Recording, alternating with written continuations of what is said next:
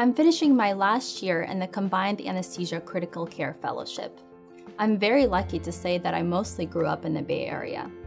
After graduating from Stanford undergrad in 2006, I decided to try out the East Coast and went to Johns Hopkins for medical school. While I really enjoyed my time on the East Coast and came to love the Maryland crab cake, I was very happy to come home and enter residency at Stanford. The Resident Quality Improvement Program was started in response to the ACGME's requirement for residents to participate in quality improvement work that focused on improving patient safety. My class was the first class to go through the program. As a class, we identified four projects, and I led four resident groups through the quality improvement process. Over two years, we used the A3 format, a popular quality improvement project blueprint also used by the Toyota production system.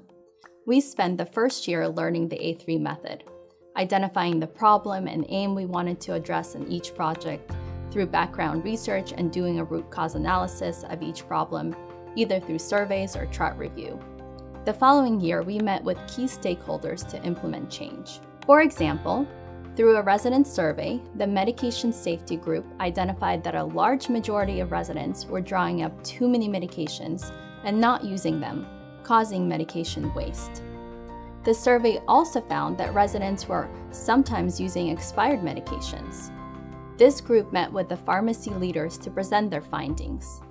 As a result, a drug distributor evaluated our drug use and identified a high amount of money wasted on unused drugs that are unnecessarily prepared for potential emergency situations.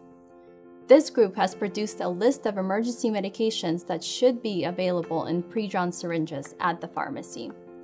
The pharmacy is in the process of acquiring these medications and reorganizing the Pyxis jars to accommodate the medications. I've always loved an academic environment, which has provided me with opportunities to teach and conduct research, and allowed me to realize my passion for quality improvement work. After completing my fellowship in anesthesia critical care medicine, I would like to find an academic job and practice in the operating rooms and critical care units. At the same time, I would like to continue to focus on patient safety by identifying and leading quality improvement projects. I believe that as anesthesiologists administering high-stakes medications and operating numerous medical devices, we should be at the forefront of recognizing patient safety issues and working to resolve them. My work in the Stanford Resident Quality Improvement Program has certainly laid the foundation and provided me with the necessary tools and leadership skills to continue quality improvement efforts.